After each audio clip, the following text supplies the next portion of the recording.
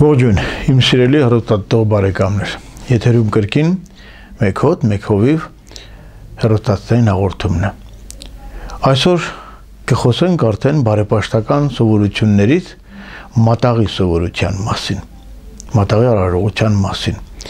Եվ որպեսզի կարողանանք լավագույնս կատարել այն արարողությունները,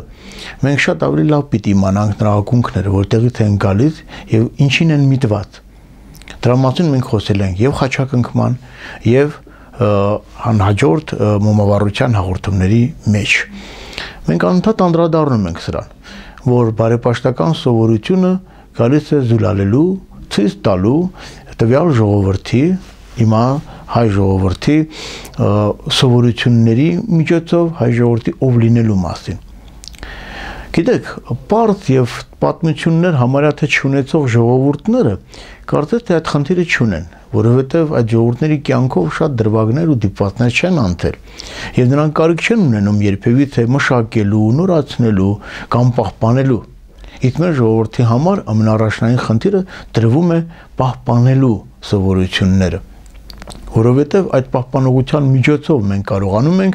մի փոքր անաղարտ պահել այն ինչ որ երբևէ թե կարող է մեզ սնել, առաջնորդել, որովհետև հատկապես երբ մենք արդեն տոներին անցնենք ու տոների մասին առավել հիմնավոր խոսենք, տոների նշանակության մասին խոսելուց մենք կտեսնենք թե ինչքան կարևոր է տոնակատարությունները անաղարտ պահել։ Կատարում ենք, սակայն կարող ենք անաղարտ չպահել եւ այլ եւ այլ տարբեր սովորություններ մտնելով տվյալ տոնակատարությունների մեջ սխալ դաստիարակություն գիտության եւ սխալ մեկնաբանության առիթ կարող են տալ։ Հենց դա էլ ուզում ենք ասել, որ մատաղի սովորությունը այն բարեպաշտական սովորության մեջ մտնող հատկանիշներից է, որ իր մեջ պարունակում է միայն բարեգործություն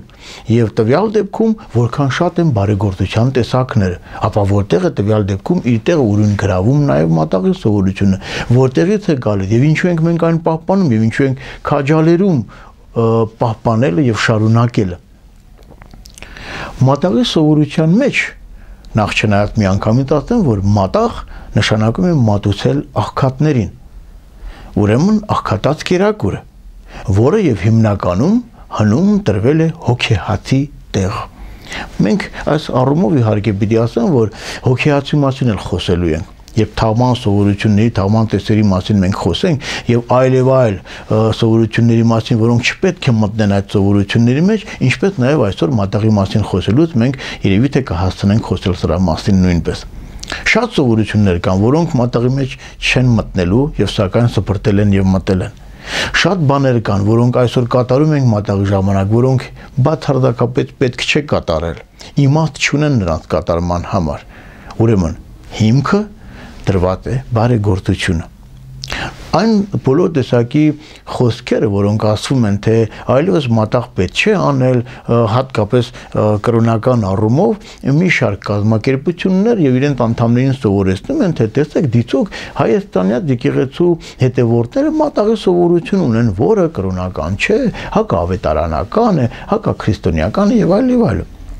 դե միանգամից ասեմ որ նրանք ովքեր փորձում են ինչ որ մի բան միանգամից շղթել կամ միանգամից իջիկ դարձնել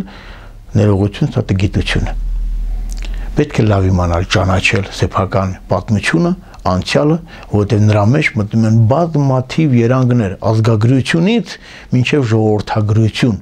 քրիստոնեական ընթացքի մինչև պատմական քաղաքականություն։ Եվ հաճախ այնպես են քաղաքական դեպքերը ազդում մշակույթների վրա, որոնք զարմանալ անգամ կարելի է։ Այդպես եւ մեր ժողովրդին է պատահել։ Մատաղի սովորությունը իբրև կենթանի մորթելու, զոհելու, նրա միսը եփելու եւ բաժանելու սովորությունը եղել է շատ ավելի շատ վաղուց նախ քրիստոնեական շրջանում եւ ապա նրա հետքերը եւ հիմնականում նրա կերպերը մենք տեսնում ենք Աստվածաշնչում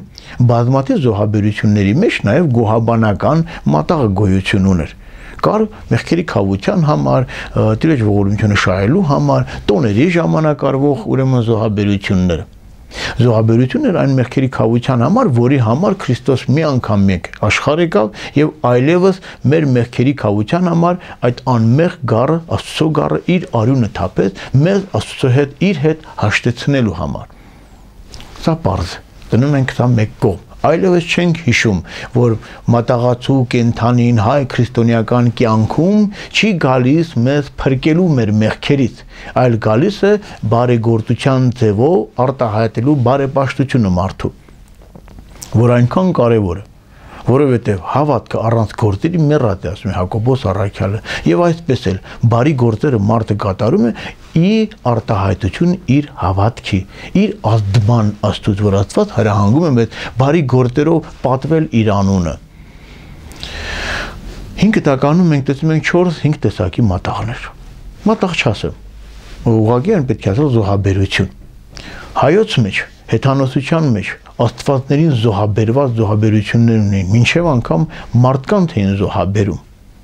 Վերջատավ այդ ժամանակաշրջանը, երբ Քրիստոս իր լույսով լուսավորեց հայոց աշխարհը լուսավորեց ողջ աշխարհը առաքյալների ձեռքով քարոզելով փրկության ավետարանը բայց ժողովուրդների մեջ կային շատ ու շատ սովորություններ այդպես էլ հայ ժողովուրդը հարուստ իր մշակութային սովորություններով ուներ նաև այդ զոհաբերությունների սովորությունը հիմա համադրենք մինչ հեթանոսական շրջանը, ապա հեթանոսական շրջանը, ապա սկսվեց քրիստոնեական ժամանակաշրջանը։ Եթե ինչու շեշտեցի մինչ հեթանոսական շրջանը, որովհետև մեր նախահոր հայկի ժամանակաշրջանից, որ դեռ ավելին առաջ են գնում Նոյի ժամանակաշրջանից, մեր բարձրավանդակում բարի սովորությունները շատ կային Նրանք ճիշտ է քրիստոնեական չէին, բայց այնուամենայնիվ հեթանոսական էլ չէին եւ միաստվածական էին։ Ուրեմն թե նաև կային որոշակի սովորություններ մարդկանց բարիք գործելու, նրանց որոշակի կերպով առաջնորդելու, բարիքներ գործելու, ողորմություն կատարելու այս սովորությունների ձևերի մեջ նաև մտա որևէ մեկին կերակրելու, նրան սпасավորելու գործընթացը։ Այսպես եւ զոհաբերությունների գոհաբանական զոհաբերությունը ողորմություն տալու զոհաբերությունը մնաց մեկընդմիշտ։ Սուրբ Գրիգոր Լուսավորիչը հետանոցական սովորություններ մաքրեց, մաքրադարձեց եւ թողեց այն բոլոր տեսակի սովորությունները, որոնք չէին խանգարում քրիստոնյային քրիստոնյա լինելու համար։ Ահա եւ այդ սովորությանն էլ, այդ զոհաբերությանն էլ գոհաբանության, զոհաբերությանը, որ Աստծո գոհանում էր իր տված ողորմության համար եւ մղում ողորմության Այս երկուսը կապ էր ստեղծում եւ Սուրբ Գրիգոր Լուսավորիչը այն անվանեց աղքատած կերակուր։ Մատուցվում էր աղքատներին, մատաղ եւ կատարում էր մատաղի բարեպաշտական սովորությունը։ Ընտրվում էր նախ անարատ կենթանին, արու, անարատ կենթանին եւ պետք է կառնուկը լիներ արու եւ անարատ առանց թերությունների առանց կոտրվածքների, վնասվածքների, ворսված կենթանի չլիներ եւ այլն։ Եվ ամենակարևորը, որ մատաղ անողը պետք է աներ արդար վաստակից այդ մատաղը։ Շատ կարևոր հանգամանք էր սա։ Եվ պետք է հատկապես մատաղի մեջ ներգրավել մի կարևոր հանգամանք եւս ծառայությունը ինչպես է մատաղ անողը իր ծառայությունը նույնպես ծբերում այդ աղքատներին։ Ինքն է եփում, ինքն է խառնում, ինքն է բաժանում, ինքն է ողորմություն խնդրում, որովհետև մատաղ առնողը, երբ կերավ այդ կերակուրը, հագեցավ, կշտացավ կամ նվերը ստացավ այդ եփված միսը, հարցնում է. իսկ ի՞նչն է առիթը։ Ասում է, այս կամ այն առիթը։ Ննջեցյալ ունեմ, ասեք ողորմի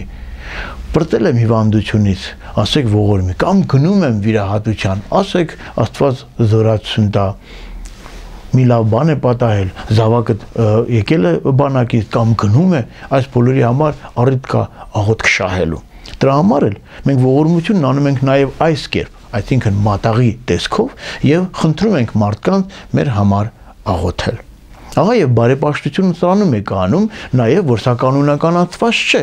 թե մարդը երբ մատաղ կանի, ինչքան կենթանի մատաղ կանի, որտեղ կբաժանի, ինչպես կբաժանի, միայն պետք է լավ իմանալ, որ մատաղ անելուց պետք է դա կոչվի սիրո ճաշ, որ եւ պետք է մասնակցեն միայն եւ միայն կարոտյալները։ Ոստի սովորություն էր հնում մատաղը տալ միայն եւ միայն օտարներին, բաժանել եւ ապա եթե առիթ կա, մեկ այլ առիթ, ծննդյան առիթ կլինի, մկրտության առիթ կլինի կամ մեկ այլ ուրախության առիթ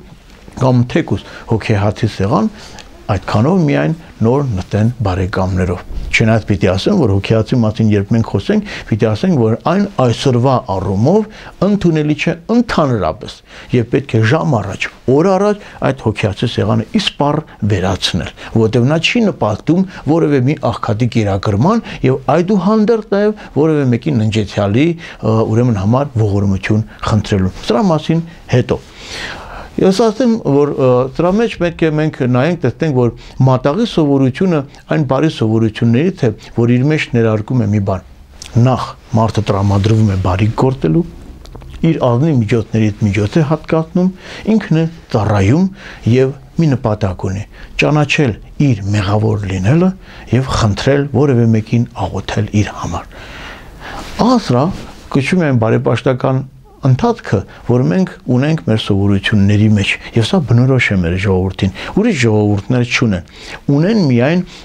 որոշակի սովորություններով, իհարկե քրիստոնեությունից սովորած եւ ասիական սովորություններից հատկացած մահմեդականները։ Չնայած կուզենայի, որ սրա մասին արդեն հաջորդիվ խոսել եւ արատավոր սովորությունների մասին նույնպես խոսել, թե ինչպես պետք չէ անել, ինչ-ինչ պետք է հետևել եւ որը հատկապես պետք է իրագործել մատաղի արարողության մեջ